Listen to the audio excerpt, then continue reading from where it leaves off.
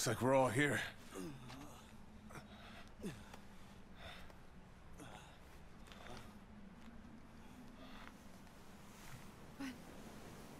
Are we really? I knew it! We are home, aren't we?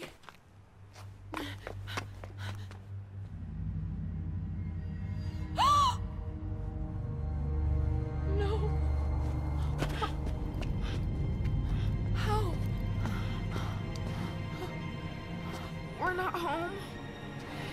Where are we then?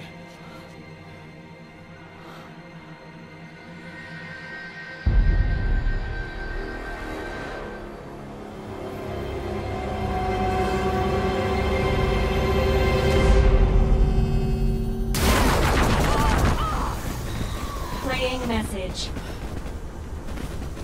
Hello again, everyone. Do me a favor and don't move for a moment.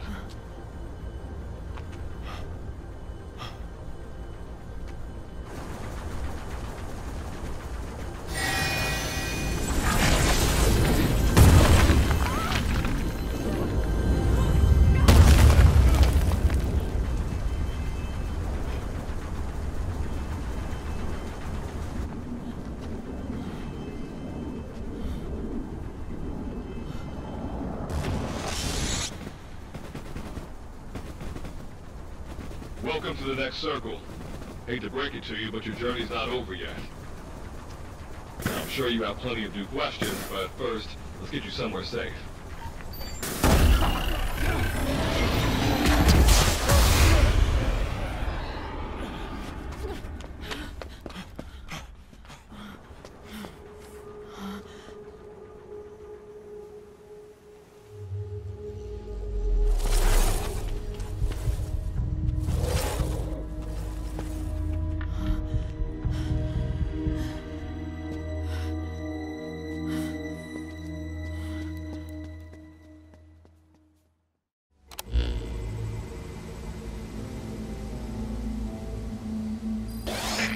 Before I continue, if you're listening to this, it means I'm already on my way to purgatory.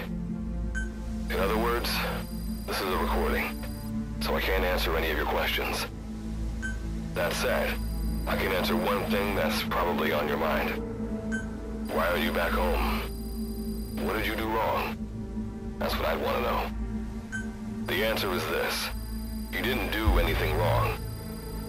That's happened was supposed to happen, and you've ended up exactly where I wanted you to. I imagine you don't like me very much right now, and I couldn't blame you. But there's something I still need you to do, and that is to destroy the Lord of Dust. Everything I have planned, prepared, and executed has been for this one purpose. Sending the Captain to Dite, having you find others and become stronger, and now sending you there because that is where you will find the weapon that can destroy it. The forward operating base you're in right now was built by the Charon Corps. Consider it your new base of operations. There's a survivor from the Corps somewhere in the area. Start by making contact with him. He holds the key to destroying the Lord of Dust. Oh, and please, don't blame Virgil for what happened. The events that led you to being there, this recording, neither she nor he had any knowledge of these. I know they'll continue to do whatever it takes to help you complete your mission. The emotions are probably still running high, but one day you'll understand. Understand how the fate of mankind rests on this mission. And you are the leader of this mission. I'm counting on you, Captain. That is the end of Goodluck's message. That son of a bitch. He's still screwing with us. The man is dead. Get angry all you want, but what good will it do now? What was that he meant by the fate of mankind resting on this mission? One thing does come to mind. It has to do with why Mr. Gruen wanted you to increase the output of the digger. I suspect it was because he was trying to bring the Lord of Dust into our world. What? That level of output truly was unnecessary for us to return home. He likely wanted to increase its size in order for the Lord of Dust to be able to go through it. But why would you want that? Gruen wanted to secure a large energy source, it would seem. After all, the Lord of Dust contains a massive amount of energy, far greater than any Wanderer. But if something like that ended up in our world? It would pose an extremely high threat to the planet. This is only a guess, but I think Goodluck wanted to destroy the Lord of Dust to prevent Gruen from getting his hands on it. In that case, you really could say the fate of mankind rests on this mission. This has got nothing to do with me.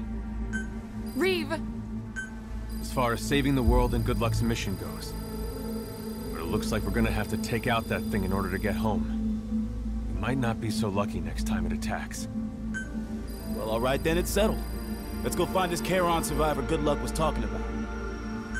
I will continue to provide mission support, assuming you all trust me. Sorry for doubting you before. We have faith in you, Virgil. Let's make it home together.